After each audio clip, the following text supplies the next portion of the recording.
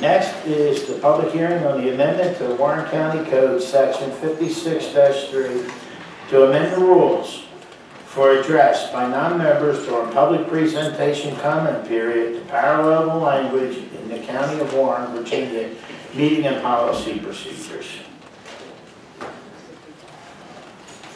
Yes, Mr. Chairman. The Board of Supervisors follows the County of Warren, Virginia meeting policy and procedures, which are included in your packet, and they were updated at the January 8th meeting. Section 5-5.1 of the procedures detail the rules for presentations. The rules now state that speakers will have five minutes and shall be limited to one appearance at each regular meeting of the Board Supervisors. And the speakers can only speak once on the same subject, or three times on the same subject in each, in a 12-month period. The rules also state that a total of 20 minutes will be devoted to public presentations. The time period for each speaker can be extended to up to 10 minutes at the discretion of the chairman. Section 56-3 of the county code also addresses presentations by members of the public during board supervisor meetings. The language in that code section, which is from the 70s, actually is different than the language that was, has been in place in, uh, in our meeting policy and procedures and was updated, as I said, at January 8th.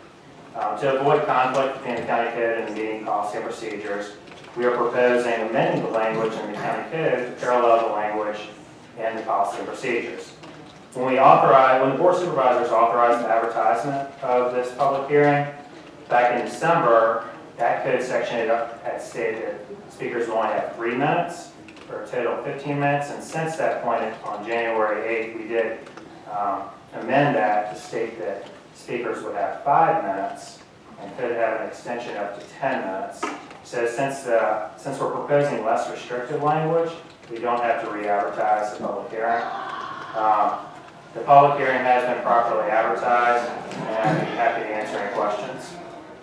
Oh, yeah, Mr. Whitten, I, I have a question, I can start. Uh, speaking on a subject three times within a year, that was actually approved in January of, was that 2017? Uh, Yes, that's correct. Um, We um, changed our um, procedures in 2017. Uh, We used a couple a couple other localities examples to expand on our procedures. Um, So we didn't have to use Robert's rules as much, had our own rules and procedures. And that was one of the rules we did adopt in 2017 was that you could, the speaker can only speak on the same subject three times in a 12-month period. Um, Okay, so just for clarity, that existed in 2017, 2018, and continued to 19, correct? uh, That's correct. All right, thank you very much. Is there anyone else that has a question for Mr. Whitten? I didn't necessarily have a question, but I just wanted to expand on that a little bit, um, of what the cover sheet said. Uh, The original ordinance that came, it came about nineteen seventy-five, it came about because somebody went to a planning commission meeting and they felt they were treated rudely and didn't have the opportunity to speak. So the board of supervisors at that time adopted this ordinance along with that language. Um, And then I think as early, I asked staff to do some research. Um, At least as far back as 87, public presentations were added to the formal agenda and has been a part of the agenda ever since with individual boards um, at the organizational meeting tweaking some of the- the ongoing rules. Um, I was not a, this did and did not come up because of Mr. Egger. Um, It did not come up because we were trying to deny him or any other citizen the right to speak. But he had brought up this particular ordinance, which I was not aware of. I don't know if anybody on this board was aware of, Mr. Sayre, were you? Uh, To be honest with you, no, I wasn't. So nobody was aware of that. But in looking at it, it appeared that it, it it didn't gel with what our rules were. And we didn't want to, uh, we wanted to make those uniform. Um, And as as stated, the, the time limit has been extended. Um, And, and I, I don't know, I mean, I think at five minutes and certainly 10 minutes, somebody should be able to make their salient points in that time frame. Um, And the other thing we do to try to limit it that, that time is, because as you saw tonight, there was a consultant in NASDAQ, there was, uh, the gentleman that drove up from Richmond as far as the bond. When we have, um, hearings, a lot of times the attorney will, um, uh, accompany the, the applicant. And while that attorney's sitting there, he's billing for that time that he sits here. So to be fair to the people who are already on the agenda, that's why we look to kind of, um, uh, limiting it in that portion. My time on this, this board, uh, I think for the most part, we have granted additional time, either individually or totally. Uh, And again, another reason for the, the time limit is we need to start our public hearings as close to seven thirty as possible. Uh, And I believe most other localities have some sort of limit on public presentations. Uh, To me, the updated language performs two functions. First off, it would mirror our rules, and second, to me, is less restrictive than the current language in the ordinance. Because under the current language, two board members have to agree to let someone speak. Under our rules, under public presentations, you don't need to have that. Anybody can speak on any subject. Um, So I, personally, I, I see that as being less restrictive. Um, And the other thing too is if any member of the public wishes more time, then they can request that they be placed on the agenda. And that needs to be sponsored by a board member and then approved. And again, I've never seen that not be approved. So if somebody does feel they need more time than the 10 minutes, they do have that right to be placed on the agenda. And that's all I have this time. Thank you. Is there anyone else? I was just gonna clarify, I wasn't aware of this until actually Mr. Egger brought it to my attention, so that's how I found out about it. Okay. Public hearing is now open. Ms. Mounts, has anyone signed up? Yes, sir. John Lundberg. And please remember, we're still under the three-minute rule. If someone would like to speak for a group of people, then it would be 10 minutes. Thank you. Mr. Stanley, could you be the timekeeper, please? My name is, my name is John Lundberg. I live at 203 Peachtree Court here in Virginia. For half of my U.S. Army military career of 30 years, I was a public affairs officer, answering questions from reporters and elected officials like yourself. The silence last year of the Warren County Board of Supervisors to credible allocations of graft, corruption, and rot of the Economic Development Authority Board was beyond the pale. You all did virtually nothing after a courageous private citizen of this community, Mark Egger, came before you three times in 2018 and talked for a total of about 37 minutes, presenting solid evidence that, one, the EDA board gave away 30 acres of EDA property to a shell company, two, two fake crimes were committed, three, the EDA board held illegal closed meetings, Pardon me for a minute. This is I understand. address the public hearing and the code section. I am, I'm Not this part of it. The EDA board told the Front Royal Police Department to stop investigating a crime, and five, some EDA board members refused to answer legitimate questions from you all on the panel, the very board that put them on the EDA board. As a result of your investigation to allegations of some of the worst examples of public corruption I've ever seen, $140,000 of taxpayers' money is now being spent to investigate the EDA, money that would have been saved if you all had taken prompt action a year ago. The reason Mark Egger was able to talk for 37 minutes on three different meetings last year was because ordinance 56-3 of the Warren County Code, passed in 1975, 44 years ago, allows two of you to allow members coming before this board to speak to long, to speak as long as they are presenting relevant information in the estimation of the two board members. Now, three members of this board, Carter, Murray, and Glavis, are shamefully and disgracefully pushing an amendment to an ordinance that would, one, eliminate the ability of two board members to allow an individual to come and talk as long as he's presenting relevant information. Two, limit a speaker to no more than five minutes. And three, limit the number of meetings on which, an individual can come and talk on the same subject to more than three in a 12-month, 12-month period. I've had, I've heard all the arguments of County Attorney Dan Whitten talk about how good this amendment will shorten board meetings, improve the efficiency of county government, is similar to ordinance of other counties in this Commonwealth, etc. And it's all baloney. Mr. Whitten knows it, and so do Carter, Murray, and Glavis.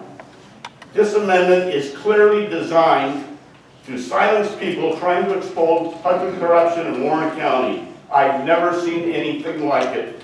Members of this Board of Supervisors do not pass this amendment. Keep ordinance 56-3 just as it is. It has served Front Royal well for 44 years in the past. It will do so in the future. Also, many people behind me tonight in this audience will do everything they can to vote out of office at the first opportunity any Board of Supervisor member that votes for this amendment. Thank you for your time. Please, we do not applaud in the meeting. There's a decorum we are supposed to have, we do not bring placard cards. We address the board, and we do not have outbursts. You can thank them afterwards, but not this way. Thank you. Ms. Mounts, is there anyone else? Dale Carpenter. My name is Dale Carpenter. I live over in uh, Lena Court, and I have a hopefully slightly less different message here. Can we have your address, please? Yes, 509 Lena Court.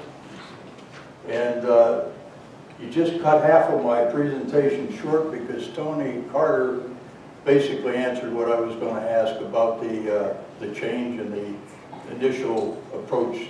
But as I understand it, and first of all, I want to thank the supervisors individually and as a group, really, for your leadership here in Warren County and for the hours and the effort and the abuse that you rightfully or wrongly absorbed there.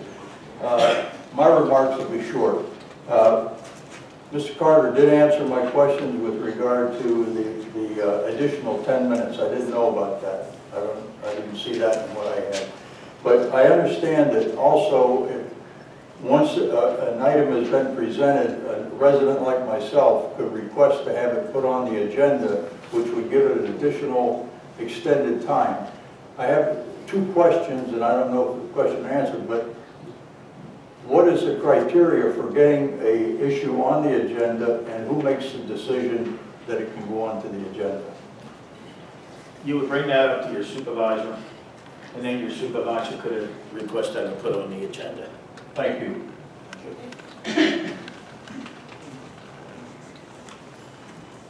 Krista Adenich.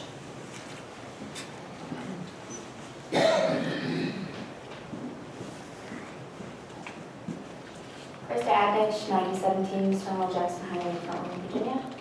Thank you for allowing me to speak this evening. I concur with Mr. Lundberg's statements.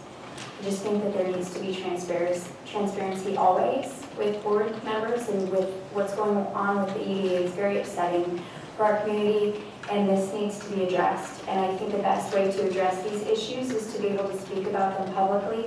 Um, I'm okay with time limits because I think that you can delve into what you need to delve into in an allotted time. I'm not okay with being only allotted the opportunity to speak three times in, on one subject in a one-year period. I think it greatly limits, um, you know, opinion and statement and fact that absolutely needs to be presented to this board. Um, I would urge you to keep the current standard on, on hand and to not adopt this new, um, amendment or whatever it is that you're doing. Thank you. Thank you. Leslie Matthews.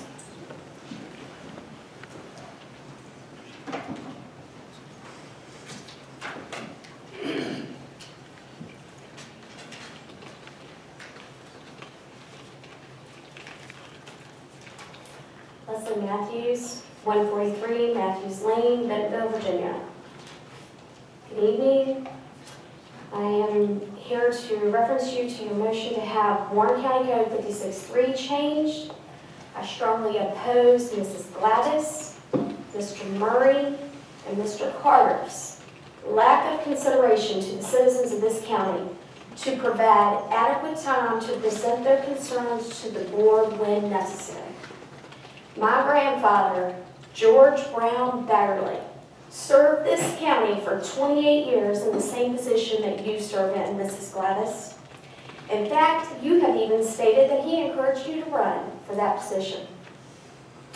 Sadly, he is no longer with us, but I stand here tonight in his honor and for his efforts in helping to bring into existence the Warren County Code 56-3 in 1975. My grandfather believed wholeheartedly that all citizens of Warren County have the right to be heard. Mrs. Glavis, Mr. Murray, and Mr. Carter, to set a timer on citizens who are presenting serious concerns to you is totally absurd, and it's downright disgraceful. My son currently serves in the U.S. Army and will be deployed within days. That's the truth. He, along with other sons and daughters, are who are preserving mine and your rights to live freely in this nation. Do not take our freedoms for granted, and do not take upon yourselves to, the right to limit our freedoms. I'm a firm believer that our government, whether it be on the national or the local level, only works best when its citizens are a part in the decisions that are being made on their behalf. If you do not want to hear what we, the people, who voted you into your public office positions have to say, then please resign immediately. We will be happy to put someone in your positions who will hear and act upon what's good and right for all of us. Please keep Code 56-3 in existence. Thank you. Melanie Salins,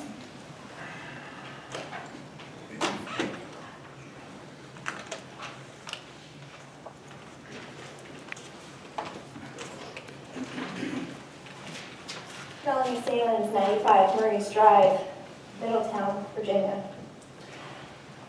You are my representative. Yep. Allow me to remind you the definition of representative is a person chosen to act or speak for others. You were chosen to sit in those seats. Your duty is to carry out the will of the people who put you there. How can you do that if you refuse to listen to your constituents? I object to the rule that limits public comments to a mere 15 to 20 minutes per meeting. This would allow time for only three to five people to speak. If for some reason you find your gallery full of people wanting to speak on a topic, then it's safe to assume that topic is a big deal and needs adequate time to be discussed by everyone who feels called to do so. I object to the rule that limits speaking on a topic only three times per year. If a concerned citizen has to bring an issue to your attention more than three times that year, then it seems more like your problem in failing to resolve the matter. And the other aspect is that there's a gray area in this rule. Who determines whether the topic is the same or not? I spoke to town council many times regarding the new hospital. At first it was about the zoning, and then later about the bond issue. Those are two very different topics, however they fall under the same heading as being about the new hospital. Who gets to decide which one counts towards my three for the year? Who gets to decide to silence me? I have been trying to understand the logic and reasoning behind wanting such strict rules. We are a relatively small county. I rarely see a lot of people at a meeting. So I was trying to understand what spawned this. I spoke to Mr. Whitten today to try to get a better understanding. He agreed that there is not currently an issue, but said that these rules are more of a preventative. The comment makes me wonder, what are we trying to prevent exactly? Why do we expect there will be a drastic uptick in citizens wishing to, to address their government? Why do you fear that citizens may want to address you in the future? An interested and involved community is not a thing I usually associate with needing to be prevented. He said in other localities, they had similar rules, specifically York County. So I contacted some of our neighboring counties. I spoke to Prince William, uh, Frederick, and Loudoun counties. None of which have rules to limit the times a speaker can address a topic during the year. Prince William County does not limit the number of people allowed to speak during a meeting, nor do they limit the number of times a person can speak on a topic during the year. Prince William County is actually actively trying to encourage more public input and created something called Speak Up Prince William. It's an online option to share and comment with board members online for people who may fear public speaking. Frederick County allows for non-agenda public comments during both the beginning and the end of meetings. They do not limit the number of people allowed to speak and do not limit the number of times a year a person can speak on a topic. Loudoun County has taken steps to make meetings more accessible for public input. They have started staggering the days of the week and the times the meetings are held. They want to ensure all citizens have a convenient time to be heard. They do limit public comments to an hour at each meeting, but have no yearly limit on speaking topics. So I ask you, with the trend around us to be encouraging public input and finding ways to make local government more accessible, why is it that our government is wanting restrictive rules? I want you to understand that these rules come across to your I want you to understand the way in which these rules come across to your constituents. They are insulting, they are alienating, and they are infuriating. We, the general public, are fed up with the government doing things to us. Governing should be done with us and for us, but not to us. People get angry when they feel unheard or when they feel like there is nothing they can do to influence change in their community. We are a community. We are supposed to be working together. We want our government to care about us. And the first step in showing that you are a caring government is to be willing to hear us. Thank you. Mike Salins, Good evening. Mike Salins, 95 Murray's Drive. Uh, I'm here tonight to voice my concerns regarding the citizens' ability to voice their concerns. Uh, My understanding is that the rules limit the number of times a subject can be brought up, as well as limiting the number of people who can voice their concerns during these county meetings. My concern is that if a citizen makes you aware of an issue and there is no resolution or action, you can only bring it up two more times. This makes me feel as if you don't care about the concerns of the citizens you're representing. If my boss told me to do something three times and I didn't do it, he's not just gonna sit there and be okay with it. He would fire me immediately. The other issue is limiting the number of citizens who can speak at these meetings. This goes the same way as the other issue. You're not making us feel like you care about our voice, and you are our only representation. As a county supervisor, you're supposed to work for the people and listen to the people to ensure our county is being run the way that the people want it. Please reconsider making this a hard rule and allow us to help you represent us.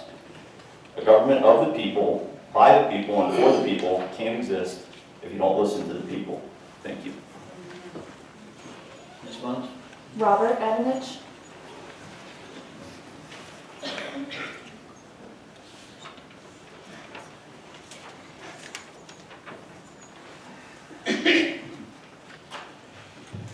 Good evening, for the third time. Uh, Robert Adnich, 9017 Stonewall Jackson Highway. Um, So, on this subject, I don't think revising the rules is necessarily a bad thing. I think the rules that um, are on the table right now are a little uh, standoffish. You know, the board is trying to remove themselves from maybe some public scrutiny. And I think that, um, that isn't going over very well here. I think revising rules, some of the things you have are okay. You know, allowing five minutes to speak is a lot better than three minutes. You're right, that's less restrictive. But again, three, three times on a certain subject is, that, that's too restrictive. Um, So, you know, if somebody comes here to speak to you, they, they're coming here because they care enough to come here. I don't think you want to stop them. You know, the, the idea here is to get more people included in the government. I know a lot of us have families. We can't be up to date on everything that the county board of supervisors does. That's why we charge you to do that and why we vote you into office. Right, so we really need you guys to, you know, come to, to our aid and do what you're supposed to do, oversight of these different organizations within the county and such. Um, and if we're unhappy with that, we need to be able to come to you and talk to you about that. You know, if we want to come and put something on the agenda, as Mr. Carter had mentioned, you know, that requires you guys to do that for us, right? That may or may not happen. You know, I've been around, I've talked to several of you over the years uh, on different subjects. You know, at, at that point, it's your, it's your decision on whether that gets put to the agenda, not the person's, you know, own interest. You know, their interests lie with you. So I think at that point, um, having a public forum to come and discuss with, you know, the members of the board here is, is critical. So I, I kindly ask you, please think about the rules that you are proposing to change in the code. And I don't think that it needs to be changed that much, you know, but especially the three, um, the three, um, three times, you know, the single subject, that's, that's really my, the biggest thing for me. You know, it, uh, that, that, that should not go into effect. If you could, you know, maybe amend your rules at a different point, you know, just, you know, hold off on the vote tonight, amend the rules, vote again, I think that'd be a good thing. Thank you. Mark Egger.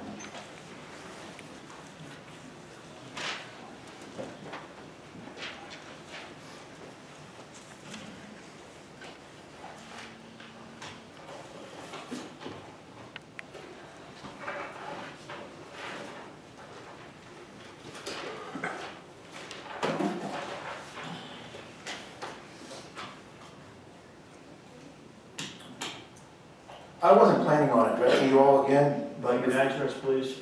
Mark Eggers, 721 Campbell Circle. I wasn't planning on addressing you all again, but your foolish actions compel me to make another futile attempt at reason, which seems to be in short supply around here. First, I'd like to correct the false narrative made by your attorney, Mr. Whitten, that this proposal to scrap County Code 56.3 has nothing to do with me.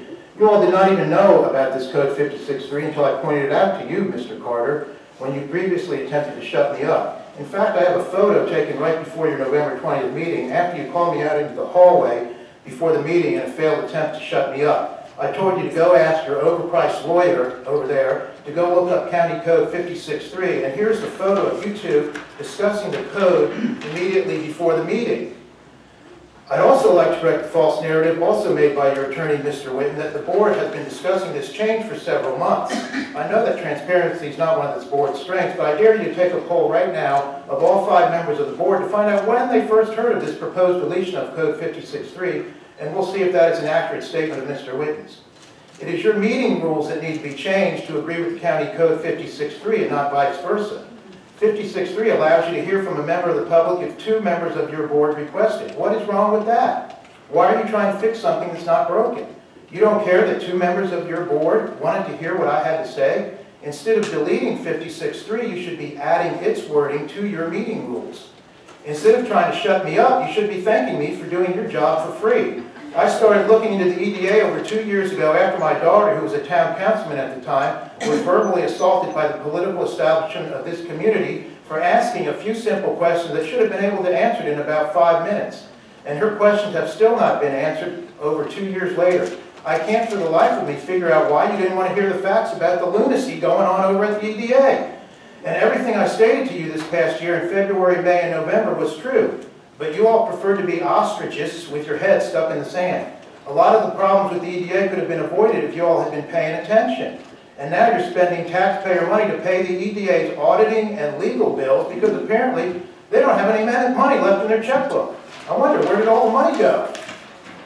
But you didn't care that 30 acres and a $10 million loan were given to a shell company with no contracts and no jobs. You didn't care that land was said to be donated for a phony workforce housing project that was actually purchased for 445,000. You didn't care that the EDA executive director and the Warren County sheriff were business partners who bought $1,949,000 of real estate in 2017. You didn't care that the executive director claimed to have won almost $2 million at the slot machines, which is mathematically impossible. If you believe that fairy tale, why don't you give her the $140,000 and in no time at all she'll turn it into $2 million. You didn't care that the executive director staged vandalism at the EDA office and tried to frame my daughter. You didn't care that the Mr. executive director staged here, vandalism. we are here to discuss 56.3, not the EDA. I'm discussing 56.3. I'm telling you why you shouldn't change your rule of 56.3. Do you didn't care that understand we want to stick to what we were trying to do to try to address this 56-3? You, you are running with the EDA. I didn't know Continue, this was supposed to be a question and answer session here. continue speaking if you have to. You didn't care that the executive director staged vandalism at her own house and tried to frame your, frame your fellow supervisor, Mr. Sayre. You didn't care that through all this insanity, the EDA board, who you all appoint, continued to express their full support of the executive director and in fact gave her a raise to show their support. And your response is to tell me, the piano teacher, to shut up. What's wrong with you people? You need to get your heads out of your backsides, pay attention, and do your job. You should be saying thank you to me, so I'll just say, you're welcome. Maybe I'll send you a bill for my services.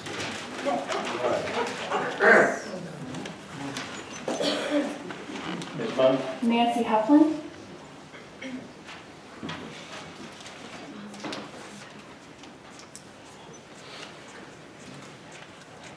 Hi, my name is Nancy Heflin. I'm a Warren County resident for my entire life. I live at 6 Run Road in Linden, Virginia. And I thought perhaps I'd had astral travel when I went to bed and woke up and saw that you don't want people talking to you who have problems to reveal. I don't understand that. So in reference to that 56-3, if you vote to run that tonight and let that go, you need to resign tomorrow. Because people have a right to speak, and why nobody wants to know what's going on in this county, who has some authority, is really beyond me. There's no oversight. You didn't even know the tax, new market tax things. Every person up there owns a house, and you didn't even know a loan was closed or not closed, no oversight and you all just want to shut people down. I don't want to be a part of that. I was embarrassed at how you spoke to Mr. Egger at the other three meetings, which I watched on video. It was very humiliating. And I think you need to clean up your act, and if you don't want to listen to the citizens, resign, and we'll get some people who do. That's all I have. Tom Balin.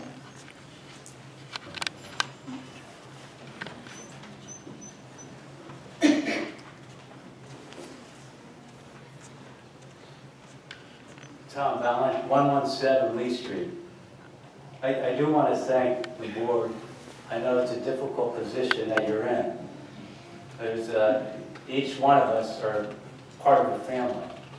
We live in Front Royal, this is part of our family. We don't go home and we don't relax thinking that everything's okay, because we know a lot of people are counting on us. You know, as a father and a husband, my wife and my children count on me. You've got the entire community here in Front Royal counting on you. And we put our faith in you and thinking that things are, are working fine. I, I understand some restrictions on speaking because there's, it has to be some time, type of time limit.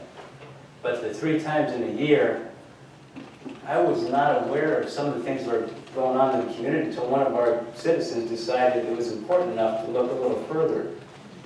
And every now and then, it's a, a citizen of the community that, that steps in and takes the bull by the horn and says, wait a minute, there's something going on here.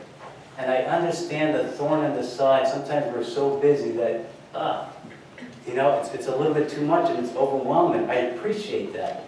But every now and then, we need that voice. And you can't limit that voice to three times a year that's ridiculous when you have an important subject going on. You know, they, he brought up some legitimate points in the past. I, I think if something happens here as far as limiting a, a citizen to speak to just three times a year, that's going to bring up all kinds of questions. I honestly believe that you will be voted out of office unless there's some type of amendment to that rule that's going on we do appreciate the work that you're doing. We know that it's a difficult job. And I know that, you know, emotions can get high when it, and things get personal. That just happens. Our jobs are difficult. Life is difficult. We all go back home and, and maybe we have a family member that's dying. But then we come up and we find out, why am I going to spend time coming to a, a community board meeting? You know what? Because it's our families And it's our generations behind us that are counting on us. And if this passes, I think at some point it's gonna hit the news and they're gonna say, wow, another small town, you know, politics. I, I think oversight is appreciated. Independent external audit of the EDA. You know, you want to bring it out in the open. Transparency is the big word. So I, I appreciate, you know, your time and I truly hope that you consider the people that are here tonight and that are speaking. Thank you. Ms. Reynolds? Michelle Mathai.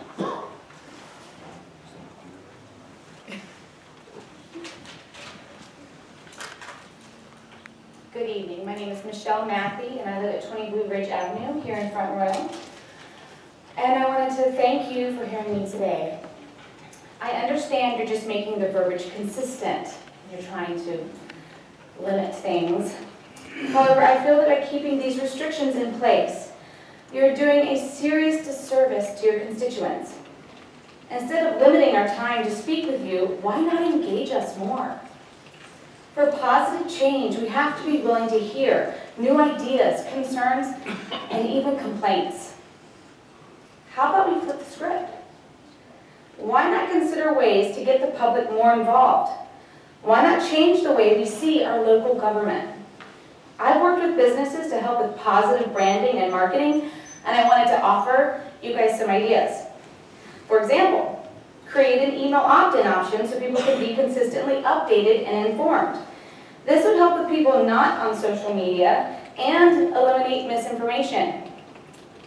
Go to high schools and explain how this process works. Start engaging our youth. Post the agendas and minutes on Facebook and share them all over like crazy. Have office hours in which people can meet and speak with you in case people are too scared to come up here and speak with you here, because this is intimidating for some people. Have an informal meet and greet so people can get to know you and get to know who represents them, so we can put a face to all these decisions. And during all of this time, remind people that they can come to these meetings and have a voice because their opinion matters. And it's important that you express that and that know that. I hope you get this point. Why not follow the example of counties in Northern Virginia whom don't limit public speaking and that you want to emulate? Attract the people that live there to our beautiful community by showing how forward-thinking and progressive we are to have a government so in tune with its community. Thank you. Ms. Reynolds? Sonia Carver.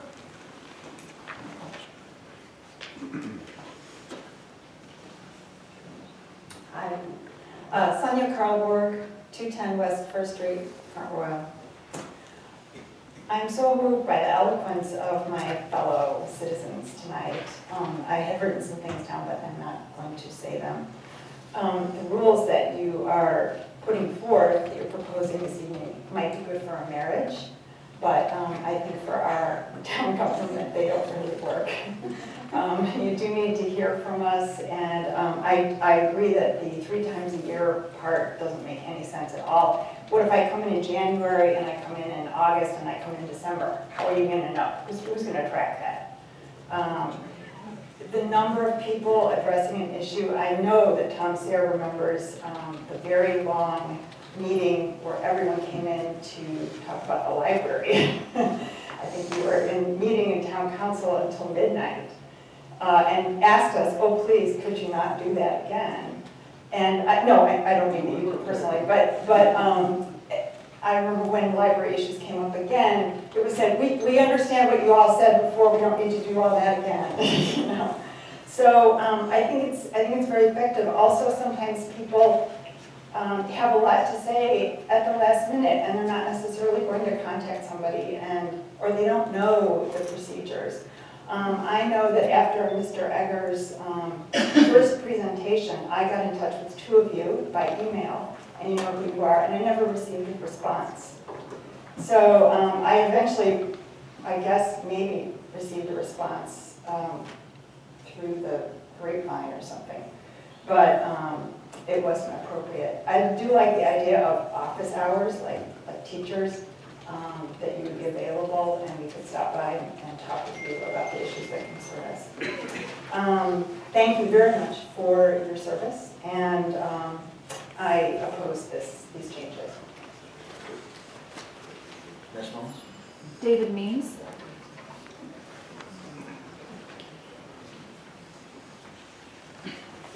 Looks like you're three for three tonight.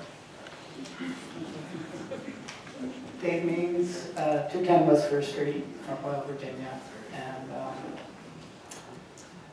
I, I just don't know what to say. I've- We have had such interesting speakers, and I'm sure you've heard it all, and- and I'm sure you're giving it a great deal of thought at this point, and I just wish you well in your decision. Ms. Jean McGurk.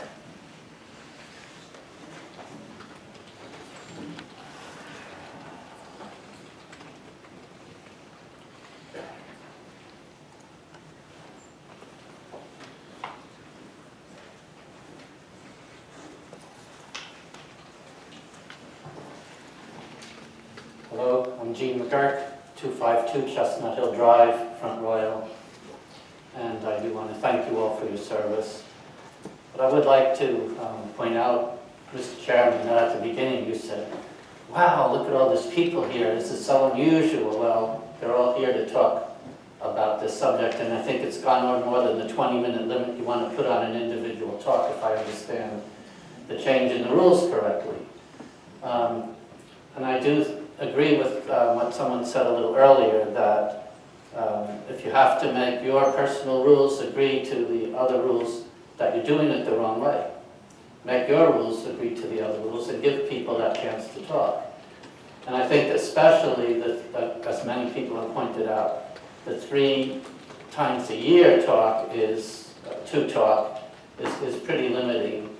Um, We are supposed to be a nation of the people, for the people, and by the people, as was already quoted tonight. And you can't have that if you don't let the people in.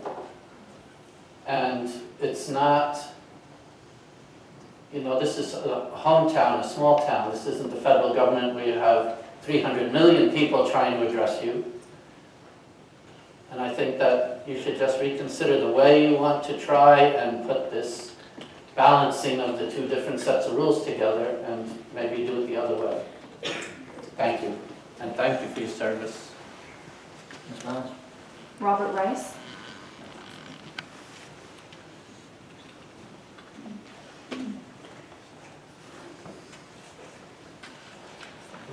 Robert Rice, uh, 72 Burbis Lane, Lawn. Um, I've been reading a lot about the collapse of Western civilization. Uh, I'm happy to say that the United States is better off than any other part of the world. We came, many of our forebears came from Europe. Europe is committing suicide culturally and demographically. Uh, We're much better off. But we're not a heck of a lot better off. Uh, Our country stands right now uh, uh, more divided than it's ever been since the Civil War. And part of it has to do with uh, keeping the uh, laws and traditions of which it was founded. Uh, When the Constitutional Convention ended in 1787, uh, Benjamin Franklin was asked, what have we got? He said, a republic, if you can keep it. John Adams uh, said that uh, the Constitution will work only for immoral people. George Washington said the Constitution would only work for religious people.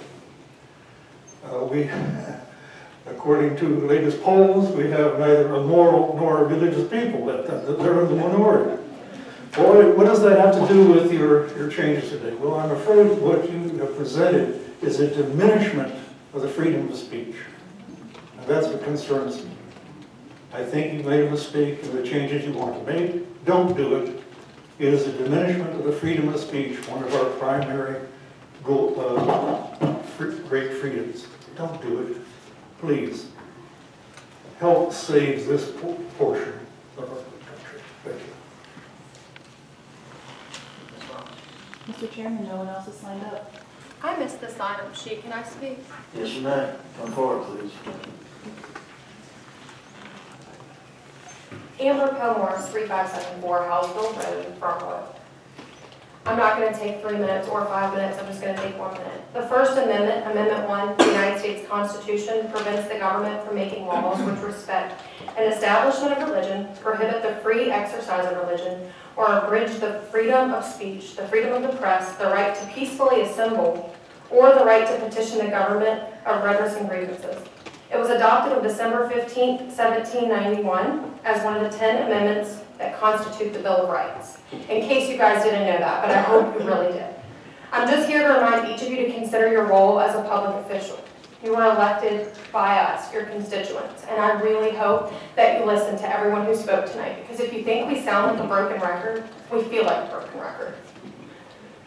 And then I'll just leave you with this. Um, it's a really important piece of the Gettysburg Address that touches on the part where Abraham Lincoln said, the sacrifices of those who died at Gettysburg in defense of those principles, and exhorted his listeners to resolve that these dead shall not have died in vain, that this nation under God shall have a new birth of freedom, and that the government of the people, by the people, for the people, shall not perish from the earth. So that is just my reminder to you guys that you do serve your constituents. We put you in office for you to carry forth the job that we haven't done, but we trust in you to do. If you don't want to do that, then it is as simple as resigning. Um, however, you all will at some point be up for reelection if that is what you so seek to do. And I understand that you want the public concern to be effective and efficient for everyone's time and involvement, but we will not be silenced, even if you decide to remove ordinance 56-3 so um, I also just wanted to add, if it isn't broke, don't fix it. Um, if the issues were addressed effectively, we would not need to speak more than three times per year. So I think that speaks in volumes for itself. If you have somebody that comes in and needs to speak five times in one year on one issue, I don't think you guys are addressing the concerns properly. Thank you for all that you've done and continue to do, and I hope that you'll take into consideration everything that's been said tonight when you vote. Can I speak, please? Yes, you may. Come forward, please. Name and address.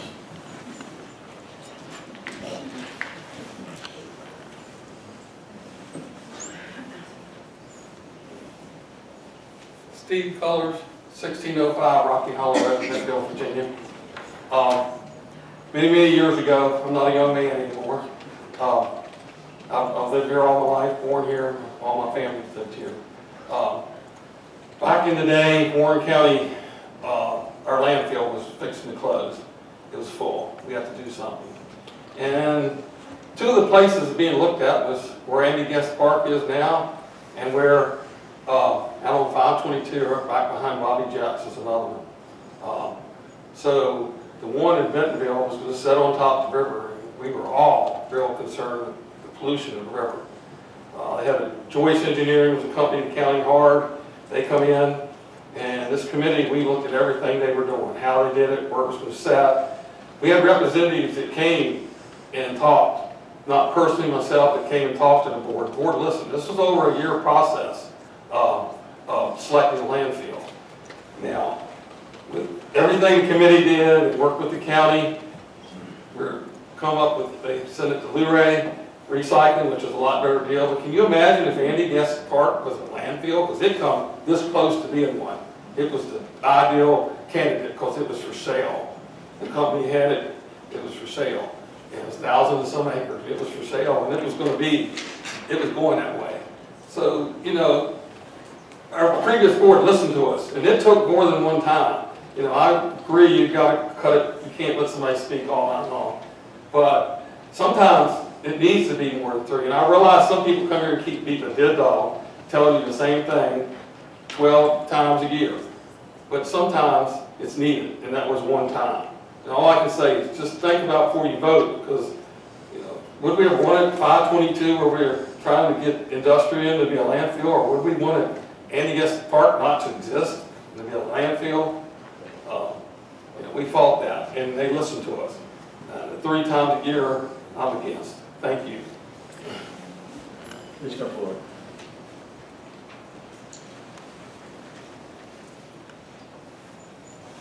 John Costello, Druid, Hill Front Royal. I didn't have any intention of coming tonight to speak, but I heard that um, a speaker by the name of Melanie, right here, came up and stated that Dan Whitten told her that he had researched the counties around our area as far as what they permitted for people to come and speak before their bodies. If I understand correctly, he told me he did that research and this was what it was going to be based on. Now, Melanie testified that none of the other counties have anything that even slightly resembles it, and I think what Mr. Whitten did, if that's true, it was a bald-faced lie that was used only to influence the people and you. If that's true, we don't know. If I'm wrong, I apologize. Otherwise, it's your duty, in my opinion, to investigate this issue. And if I'm, if Ms. Melanie is found to be correct, Mr. Whitten should be out on his ass. Thank you. May I address that comment, Mr. Chairman? Yes. Uh, just to correct it, I, I did speak to Melanie, I don't know how you say her last name, sorry. Salem earlier, and I told her that we have a local government attorney listserv, every attorney across the state. I told her I looked at the listserv. I never told her I looked at every adjacent county. I said that York County provided us a sample that was on our listserv.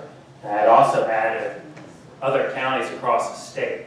I never said, I never told her, I let, she can correct me if I'm wrong, but my recollection of our conversation is that I never said I looked at every adjacent county. I said I Let looked me at interrupt you for a second, I'll get right out of here. I am not accusing you, I'm only stating that this may be the case.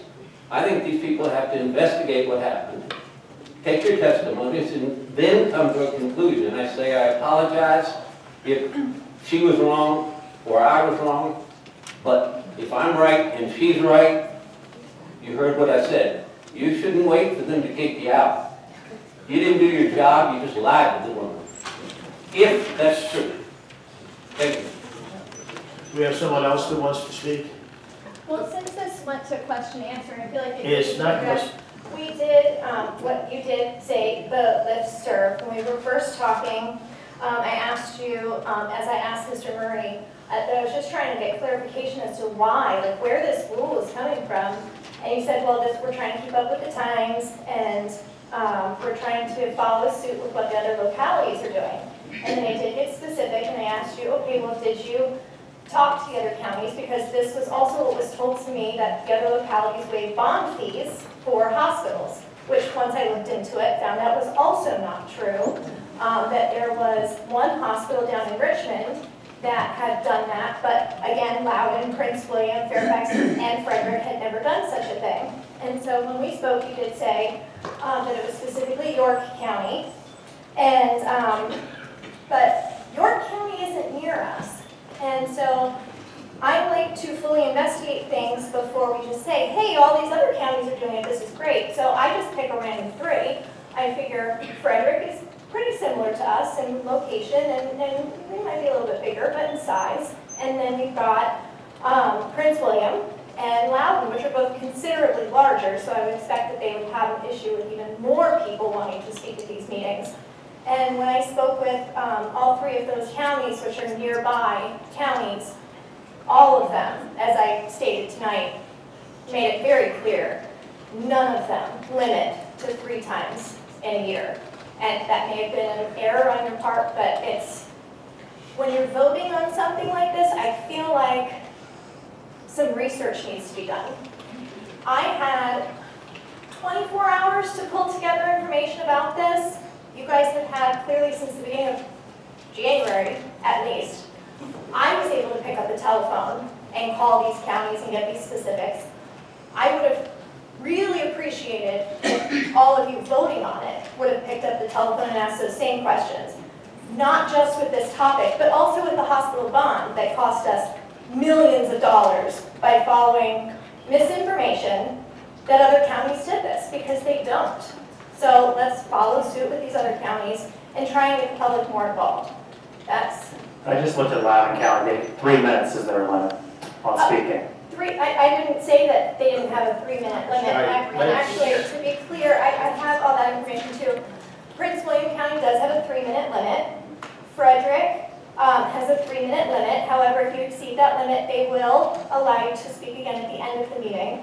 Loudoun County only allows two and a half minutes. However, you can also sign up for additional time. The, the things that I said, and I stand by what I said in my speech, is that there is no limit on th- this three times a year rule. None of them had that, and honestly, each one of them, when I called, they, they asked me, where are you getting, what? They, they, they were completely confused as to why that would even be a thing. So, um, yeah, and then, and then also, of course, pointing out that the number of people per, per minute. Uh, the only one that limits the amount of time for public comment was Loudoun County, and they said that's just been as a result of their exponential growth, and they limit it to an hour. So for us to limit it to 15 to 20 minutes, limiting it to three to five people, it, it's kind of extreme. Okay, thank you. Thank you. Who else was it? Please. Um, All of us out here in the audience. Name and address, please. Yes, Christy Atwood, 1255 Pilgrims Way, Bentonville. Um, All of us out here in the audience, we're all from different backgrounds. Some people would like to see more people coming to county. I would like to see more cows coming to the county. But here's my issue. We all want transparency, and that's not what we have. All of us out here are different, but you five represent us. You five are their bosses. So when we have a big energy company that wants to come here and has $5 million in escrow with the EDA to put solar panels on all of our schools and save us $150,000 a year, when he wants to meet with Doug Stanley, then Mr. Fox, you need to get him an appointment. Doug is your employee. Dan is your employee. David Bean is your employee. Y'all need to do something about these people and about the criminal activities. I have went to Richmond. They saw. One of the board members looked at me and said, you have been putting up with the old boys network. Well, they're right. I have gotten nowhere. I had rats in my house, which I'm sure y'all saw at Christmas time, because I was not happy with it. But none of y'all have answered my emails or even attempted to help me. We want you to listen to us. We want you to be transparent. I know the sunshine laws have been broken. I know from the meeting of the LBDC at the local board of the building appeals, they've been broken because Whitten wrote statements for conflict of interest that didn't even apply the proper law. Found that out in, Rich, in Richmond on the 11th. I mean, it's just crazy. We are a county that could have so much, and now we have so little. But we need to have transparency so that everybody can see what's going on, and people need to own up to their mistakes. Thank you. Who else? Please.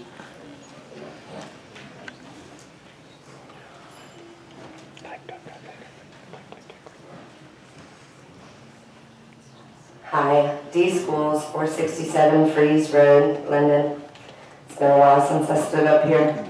Um, in the 15 years I've lived in Warren County, I stood up here a lot of times. And um, one thing I can say is, you know, the time limits are definitely, I mean, across the state, they have time limits. There's time limits for a reason. Go back 10 years ago, I'm sure you would have liked to have told plenty of us to shut up when we were standing up here. Um, the three times per year speaking on the same subject, you guys are going into budgets. If I want to stand up here at every meeting from now till the time you pass that budget and talk about that budget, I should be allowed to. I'm going to take the EDA stuff and everything outside of this. And for three years, me, Linda McDonough, quite a few others, three years we stood here we brought you more and more and more information on Shenandoah Farm Sanitary District. It took us three years for you guys to even start asking Shenandoah Farms for records. We stood here from 2005 to 2010 until we got results. You would be limiting that now. If you would have looked into it before the three years we wouldn't have stood up here that many times. The consistency of allowing some people to speak 10 minutes while others are silenced at three minutes. That shouldn't happen, and it's happened over the years, you know it. It's hard to keep, you guys, I understand the position you're in. I understand that you want to try to listen to everybody. These rules don't even allow for what you have been allowing. Over the years, you've had more public speakers than 20 minutes will allow. You have always allowed it. You have always come back and allowed people to continue speaking. You broke your public hearings, you broke your public presentations, went to public hearings and came back to those public presentations. You're not even allowing that in the own rules you're writing right now. You're making it more stringent than what you've ever allowed in the 15 years I've stood up here. I ask you to relook at that three-year on the same subject for more than one reason. Who's going to keep track of it? Who are you going to pay to keep track of a spreadsheet, maybe, on what I decide to talk about from time to time? You're going to give me five minutes now instead of three. I appreciate that. Sometimes I like to have more than five. Sometimes I don't need three. But if I switch over two minutes into that and suddenly start talking about something that I talked about three times already this year, is somebody going to be sitting up there with a spreadsheet going, oh, oh, nope, already talked about that three times? I mean, I think you're getting a little ridiculous on it. And you really should relook that three times per year. Once again, I will go back to the budget. Budget time is happening. You're having meetings now. You will be having meetings from now and through April. When there's another public hearing on the budget, which people don't come to, by the way. Um, but if I want to come to every meeting, I'm going to expect to be allowed to talk about that budget every single time between now and April when you pass it. And I hear the dinger, so thank you very much for your time. Anybody else care to come forward? Come forward, please. Just very quickly, uh, John Anderson, 552 River Drive, uh, from Loyal, and I do thank you for your service. I just want to point out, um, I think there's a big difference between a listserv check and picking up the phone and talking to uh, representatives from neighboring counties. If there is, if there is a vote not to change the rule, I think that's fine. But if those of you contemplating changing the rule, I think you need to verify that the information heard tonight about neighboring counties is correct. Thank you. Is there anyone else that would care to come forward and speak at this time? Second call, anyone else care to come forward and speak? Third and final call, anyone care to come forward and speak? This public hearing is closed. Oh, man. Mr. Chairman, you looking for a motion? I move that the Board of Supervisors keep the current language to the Warren County Code Section fifty-six three. We have a motion and a second. All in favor? No discussion? No, go ahead, discussion, sorry. I'm not going to support, excuse me, I'm not going to support that motion because I think we need to make some changes. Um, And what I was going to recommend, and I don't know how I want to do this, so that'll get more confusing than it is. But what I would suggest, and I appreciate everybody coming up and speaking. um, Let me see, and there again, I think the changes I would make would make, make it less restrictive too, so we would not have to reapply, or re-advertise for a uh, public hearing. Um, gotta go. Let me throw this out there and see if you follow. Um, if you look at the ordinance as it's written, what I went through, and what I was gonna suggest was during the public presentation, comment period, speakers wishing to address the board shall clearly state their name and address. I think everybody can agree on that. And then what I was gonna suggest is that we get rid of any time limits. Now, the caveat with that would be we would move the public presentations to the end of the meeting. And then that way we wouldn't interfere with people who are already on the agenda. And then that way people can go and talk as much as they want on the subject. The main thing though is, and I don't know how you can regulate that. I want to hear the constituents. Everybody up here wants to hear what they have to say. The concern though we deal with zoning, uh, planning, trash pickup, the dump, all those things. We're not really here, and we can't really address national issues.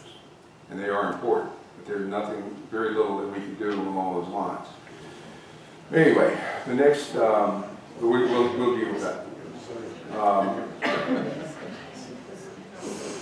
Each speaker, and then the other thing too, I'll go ahead and strike that as well, and get rid of the three times per year, for twelve month period portion as well. Um, and again, that basically opens it up, public presentation will be held at the end of the meeting. There would be, uh, no restrictions on an individual, on the time. Although I did like the one lady said something about there was one place, and then they had an hour limit. Um, I would like to see that maybe put in at least to see how things go, if it turns into a bigger problem. So that's what I would suggest then, um, that we limit the public presentations at the end of the meeting to one hour and no limit on the, uh, the time for any one speaker. And there again, I would hope that people could be um, concise and salient in their points. The other thing though, the only problem with doing it that way is, and, then- and, and that's why I think we may have moved it up sometime back to the beginning, is because if we do it at the end of the meeting, and there's something on the agenda that somebody wants to speak to that is not a public hearing, then we've already voted on it without hearing that. So what I would also propose is at the beginning of the meeting, there would be a public presentation period where a citizen could comment on anything on the current agenda except for a public hearing. I think we would be okay, maybe,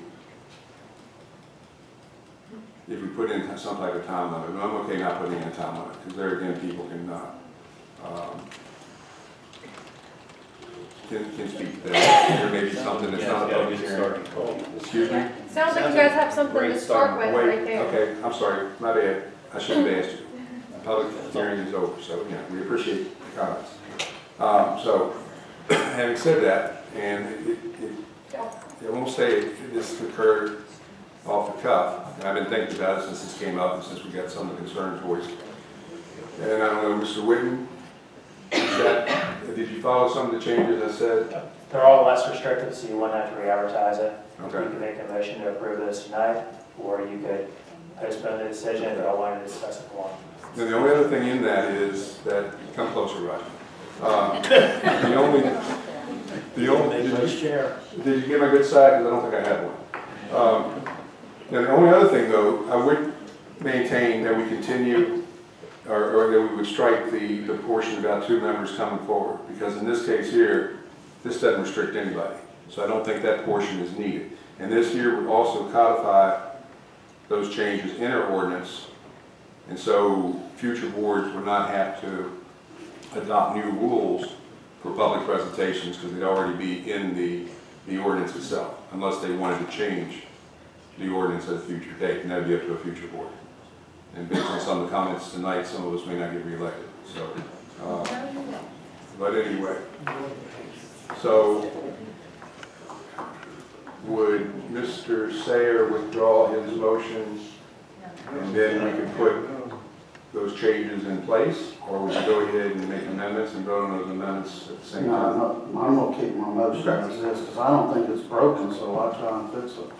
Okay. Okay. And if I may speak, I mean, you know, Archie and I had a concern, we thought there was some hanky-panky going on at the EDA. And we were opposed three to two, and we acted professionally, and the board spoke as a whole. And Archie and I kept quiet. And then before I know it, my damn phone number shows up at the crime scene. I didn't hear apology from anybody or any concern from, on this board. But I'm gonna tell you that this needs to be there, that nobody's gonna want, one supervisor is not gonna wanna sponsor somebody just to come up. That, that's sometimes going out on a limb, you're asking a lot. But if somebody wants to come freely to our board and speak, and then there's two members since 1975, and I think that lady spoke so eloquently about her grandfather, Mr. Bagger. That was impressive. That, that's a safeguard in there for a citizen to have a right to speak. And I think that that should be there and should stay there. Could I, could I ask- can I ask a question, please? What happens to that one person who doesn't have two board members that want to let them speak? They don't get to speak at all. The way I uh, redid this was, everybody, anybody can come and speak at any meeting. No women on the meetings. So that to me is more restrictive than what you're proposing, by keeping the same language in place. You've gotta have two members want to let somebody speak. If two members don't, they cannot speak. Under what my recommendation was, they would have the opportunity to speak. I mean, I don't fully, I'm trying to be very polite, Mr. Carter, I like you a lot, but I did not, I don't fully understand everything you presented. I mean, that, that was a lot that you said right there. Uh, do you understand his motion? Mr. Whitten? And basically what he's saying, you, what he's proposing is changing the code section to state that there's an hour of public presentation time. Anyone can come up and speak, there's no limit, they can speak for 60 minutes, if there's only one speaker, there's five people signed up, you can reach 12 minutes. There's a limit of 60 minutes. I guess that's what, um, the lady was saying, in Loudoun County, it's an hour limit on public presentations. So there's no limit, they can speak on the same subject every meeting. Um, you know, there's two meetings a month, they can talk 24 meetings a year. Um, And there's, there's no issue there. It's just, the only limit really is that there be an hour. If I understood Mr. Carter correctly, and you can correct me if that's the way I So understood it. basically, the- like I said, at the end of the meeting, there would be public presentation. At this point, we would limit it to an hour. However, there again, just like the current rules, that's more or less a guideline. And there again, if they wanted to be extended, it would be under the, the uh, discretion of the chair. If the chair decided they did not want to, come back to the uh, majority of the board, could overrule them. And that would be at the end of the public presentation, at the end of the meeting. And then that way we don't have to worry about holding people up that are already on the agenda. As far as the, um, the other public presentation period, that would be at the beginning of the meeting. And it would only be allowed for people to speak on specific items that are on the, uh, the agenda that night, excluding the public hearing. Um, And by doing that, I don't think you need to have two representatives from this board want, uh, allow somebody to speak. To me, that's more restricted. As far as placing something on the agenda, and I don't recall it happening very often, but I don't see a problem with that. And I think you said, if I heard you correctly, and I don't mean to talk to you, these should be addressed to the chair, but I I think you said it was, uh, one of our members would be hard pressed to put something on the agenda for a citizen. I have no problem, as long as it's germane to county business. You know, I mean, I don't want to speak back and forth. I- Go right this way, go ahead. Okay, well, all right. If, if a,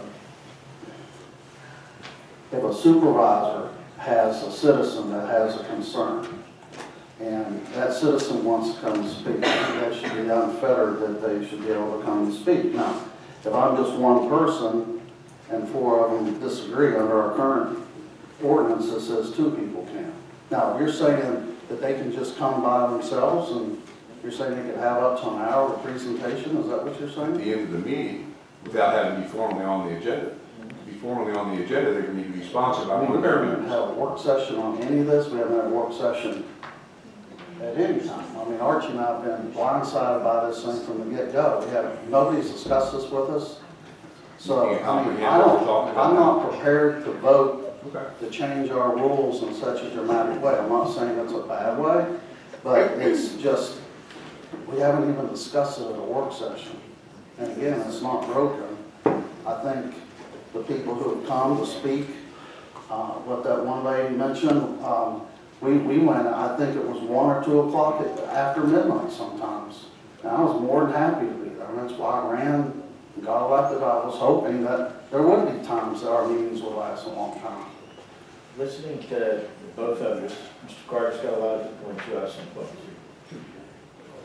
Do you want to change your motion, table this to a work session, and re-enter this Some of this is miscommunication because the three times speaking on an item isn't something new that's happening now. That happened in 2017.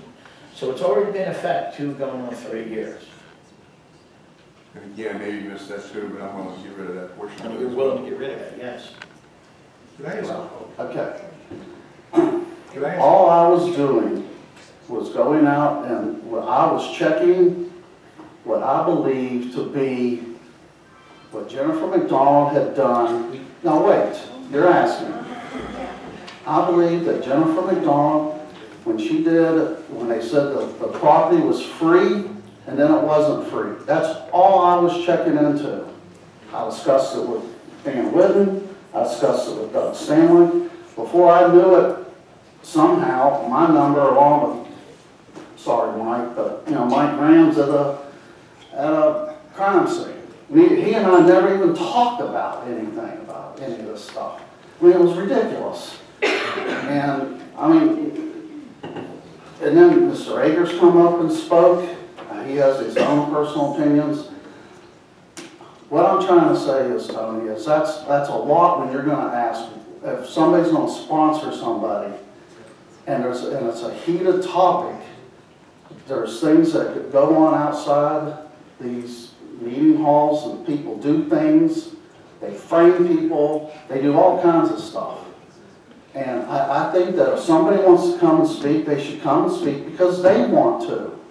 And if, if, and if the way the rules are written, if two of us want to support them, they can speak. I mean, actually, when you were chairman, you never even brought that up. You just let Mr. Akers speak. You never asked me. Now, Archie one time did speak up and said he wanted to hear from him, but you never, you never got two people, because I never, I, you never asked me. I'm not going there. Um, The thing of it is, the, the, the, to me, what I propose is less restrictive. And I don't know, does that make sense? And again, if I may, I just want to ask, uh, for a show of hands only, does that make sense as far as being less restrictive? But but he was saying like an hour total for everyone speaking. And I understood you saying an hour per person. I said it'd be an hour for the, at the end of the period. But there's no, total. but there's no time limit, so if one We're- person. Whoa, signs up, whoa, they can have now two we're speaking, if you're gonna speak, you come forward to the podium, you don't call out from the seat, there's stay clear, you lead the meeting. A show of hands. The public, public hearing. Well, I wasn't prepared to come to a question and answer, which is what this whole circus has turned into. This is quite embarrassing, and I hope it's all residents of Warren County watching this circus, because if not, it's gonna leak out to everyone anyways. But it's quite confusing because the hour at the end, if it's one person, so I can come, if I'm the only person signed up and speak for the entire hour and present and not be interrupted? Yes? Okay, then that part, I have clarification on. If anybody else has questions, please, question and answer now. Open to the could. Okay, so, because I understood you as saying there was no time limit, so if Melanie wanted to come up here and speak for an hour, she would have an hour. But then you had said it was an hour total at the end. So if one person takes up the whole time, then everybody, every, everyone else is out of luck, is that? Again, that can be addressed as far as the chair's discretion. As far as that goes, I don't care. Make it unlimited for everybody. We'll see how it goes. That's making government more accessible, and maybe this is what we need, is like town, like town forums that you can have questions answered. All right, for control purposes, we have a motion on the floor from Tom. Personally, for discussion, I think that the motion should be withdrawn, and we should table this to a work session. Work sessions are open to the public. They're not a closed session. Okay, to help, to help chairman here, I've spoken with Archie Fox, and he's, the two of us been through this thick and thin. So he has recommended that we, I withdraw my motion, I will, you can withdraw your second. And then we're gonna make, we'll make a motion on table. The motion to postpone. Postpone. For the proper terminology. Mr. Chairman, I move that we postpone this discussion. Second. Can I be into a work session? Second. And if you could set the date of the work session, um, you know, mission to postpone, he should have a date. So do you want to do the next meeting, the first meeting in February, February 5th? I would say the second. It's your call. I would say the second. Or you could do the night meeting, which should be the, yeah, 19th? People are, and people are available at the night meeting. If we do it at the day meeting, the people that are working are not able to come. We need input, we need support. We're not hiding anything. There's things go, there's things going on that we're not allowed to talk about. We've signed confidentiality agreements about certain items. And please, the more you push us to tell you, the more trouble we can get in if we open our mouths. Mm-hmm. We can be sued. You don't consider that, and I wish you would. There are a lot of things going on. We have a motion, we have a second. I have a question. Go ahead. Mr. Chairman, have you got the proper date on that? Okay. What was the date on that? February 19th. 19th, at 7 o'clock. The question is, do we have our work session, let's see. And I don't know what the agenda's gonna be like on that meeting. Well, we got the budget coming up, that would affect that meeting. The thing with the work session is, it's basically for the chance for this board to discuss different things. It's not a public hearing at that time. And if we discuss it at work session on the nineteenth, we put it on the agenda for the end of March, uh, to take action, that's not gonna be a public hearing then either. So, I don't know, I mean, since we're going through, will we have time to discuss this at the work session on the nineteenth and advertise for another public hearing, although I don't wanna have you good people come out? You you can advertise for the work session. Okay, And in the meantime, I can look at the adjacent localities, I can do a spreadsheet of what all adjacent localities do, all five, six adjacent But we localities. have to start somewhere. And the other thing too, mentioned, I think all of us have, uh, county websites or, uh, email addresses. So you're more than welcome to contact one or all of us with other ways to maybe look at it. So I still feel like the proposal, just to let everybody speak without having two members is totally so less restricted than what's currently on the book. So that's all I have to say. We have a motion, we have a second. We're, let us finish our motion.